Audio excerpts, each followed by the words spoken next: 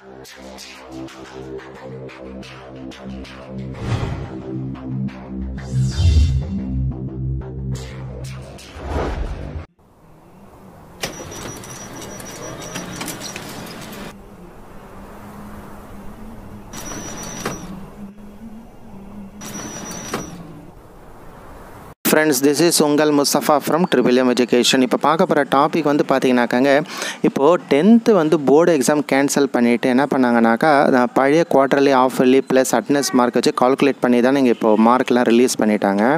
இதில் வந்து ஒருத்தர் என்ன பண்ணியிருக்காங்கன்னா பொதுநல வழக்கு ஒன்று சென்னை ஹைகோர்ட்டில் ஃபைல் பண்ணியிருக்காங்க அவங்க என்ன சொல்கிறாங்கனாக்கா இந்த மாதிரிலாம் நீங்கள் ஏன் கால்குலேட் பண்ணுறீங்க ஏன்னா நாங்கள்லாம் பார்த்தீங்கன்னாக்கா சிலபஸ்லாம் மாற்றினாங்க இல்லையா? அதுக்கப்புறம் அது அது புரிஞ்சுக்கிட்டு ஆஃபர்லிக்கு அப்புறம் அப்புறமாதே நாங்கள் முழுமையாகவே உள்வாங்கிட்டோம்.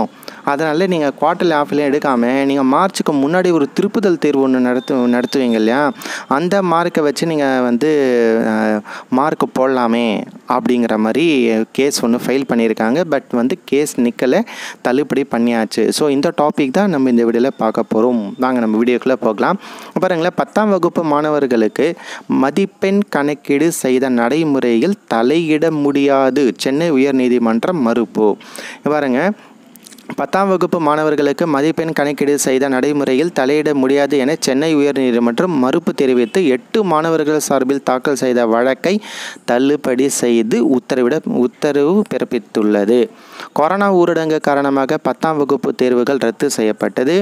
காலாண்டு அரையாண்டு தேர்வில் பெ- மாணவர்கள் பெற்ற மதிப்பெண்களின் அடிப்படையில் எண்பது சதவீத மதிப்பெண்களும் வருகை பதிவின் அடிப்படையில் இருபது சதவீத மதிப்பெண்களும் வழங்கப்படும் என அரசு ஏற்கனவே அறிவித்தது.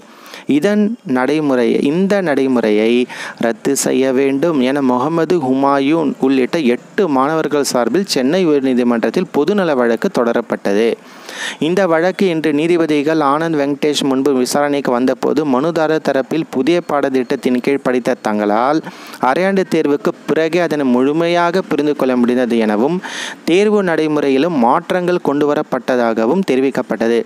அது மட்டுமின்றி மார்ச் மாதத்திற்கு முன்பு நடத்தப்பட்ட திருப்புதல் தேர்வு மதிப்பெண்கள் அடிப்படையில் மட்டுமே மதிப்பெண் கணக்கிட வேண்டும் என்றும் அவர்கள் தரப்பில் வாதம் முன்வைக்கப்பட்டது.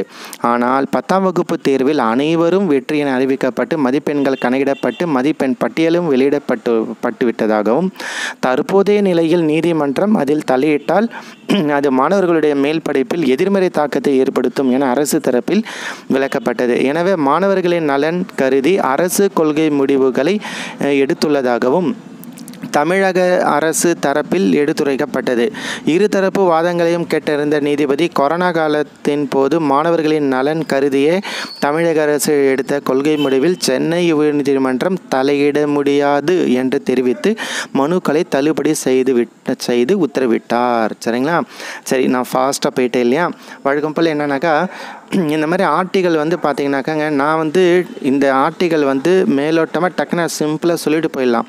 இருந்தாலும் ஆர்ட் ஆர்டிகள் வந்து முழுமையாக படித்தா தான் உங்கள் நீங்கள் வந்து முழு டீட்டெயிலே தெரிஞ்சுக்கலாம் அப்படிங்கிறதுக்காக தான் மொத்தம் ஆர்டிகள் படிச்சுட்டு பார்த்தீங்கன்னா கடைசியில் இந்த ஆர்டிக்கல் இருக்கிற கண்டெயின் மட்டும் நான் சொல்கிறேன் ஏன்னா நான் இதெல்லாம் படிக்காமலே என்ன பண்ணுறேன்னா டக்குன்னு இதில் இருக்க கண்டெயின் மட்டும் சொல்லிட்டு போயிடலாம். அது ரொம்ப சிம்பிளான வீடியோவாக இருக்கும். உங்களுக்கு வந்து இதில் இருக்க முள் முழு வந்து விஷயத்தையும் உங்களுக்கு உங்களுக்கு தெரிஞ்சிக்க முடியாது. நான் சிம்பிளாக சொல்லிட்டு போகிற மாதிரி இருக்கும். அதனால தான் மொத்த ஆர்டிக்கலும் படிச்சிடுறேன். பட் ஸ்லோவாக படித்த டைம் அவங்க தான் நான் ஃபாஸ்ட்டாக போயிடுறேன். இருந்தாலும் புரிஞ்சிட்ருக்கோம் புரியாதவங்களுக்காக வழக்கம் போல் நான் முக்கியமான கண்டென்ட் சொல்கிறேன் ஒன்றும் இல்லைங்க. அதாவது என்ன? இந்த தாட்டி வந்து டென்த்து போர்டு எக்ஸாம் கேன்சல் பண்ணிவிட்டு குவார்ட்டர்லி ஆஃபர்லி ப்ளஸ் வந்து அட்னஸ் மார்க்கை வச்சு தான் கால்குலேட் பண்ணாங்க இல்லையா? அதை வச்சு தான் இப்போது ரிசல்ட்டெல்லாம் ரிலீஸ் பண்ணி மார்க் ஷீட்டெல்லாம் கூட இப்போ வெளியே விட்டுட்டு இருக்காங்க.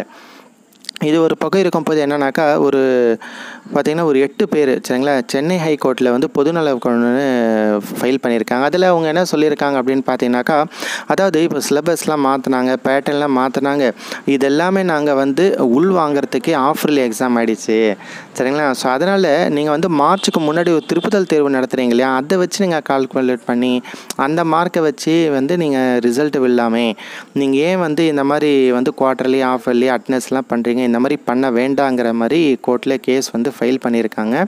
பட் ஆனால் அதில் அவங்க என்ன சொல்லியிருக்காங்க கோர்ட்டில் அப்படின்னா அதாவது இப்போ வந்து என்னன்னாக்கா தமிழக அரசு வந்து ஸ்டூடெண்ட்டோட நலன் கருதி தான் கேன்சல் பண்ணி இந்த மாதிரி கால்குலேட் பண்ணி ரிசல்ட்டும் விட்டு மார்க் ஷீட்லாம் ரெடி பண்ணி இப்போ பப்ளிஷ் ஆகிட்டு இருக்கு இந்த நேரத்தில் போயிட்டு இன்பு வந்து இதை வந்து நான் நிறுத்த முடியாது அப்படின்னு சொல்லி இந்த இந்த கேஸை வந்து பார்த்தீங்கன்னாக்கா தள்ளுபடி பண்ணியாச்சு. சரிங்களா? ஸோ இந்த விஷயந்தான் உங்கள்கிட்ட நான் ஷேர் பண்ண நினச்சிட்டேன் இதை பற்றி நீங்கள் என்ன நினைக்கிறீங்க அப்படிங்கிறத மறக்காமல் கமெண்ட்ஸ் பண்ணுங்கள் stay home stay safe take care நான் வந்து வாட்ஸ்அப் குரூப் ஒன்று க்ரியேட் பண்ணியிருக்கேன். அதனுடைய லிங்க் வந்து பார்த்தீங்கன்னாக்கா டிஸ்கிரிப்ஷனில் கொடுத்துருக்கேன். உங்களுக்கு விருப்பம் இருந்தால் அந்த லிங்க்கில் நீங்கள் ஆட் ஆகிடுங்க ஸோ இப்போ வந்து நான் வீடியோ போஸ்ட் பண்ணுறதோட லிங்க்கும் அதில் வந்து ஷேர் பண்ணி இதை தவிர முக்கியமான நியூஸ் எல்லாம் கூட நான் உங்களுக்கு டெக்ஸ்ட் மூலமாக கூட வாட்ஸ்அப்பில் வந்து நான் ஷேர் பண்ணுவேன். Okay friends take care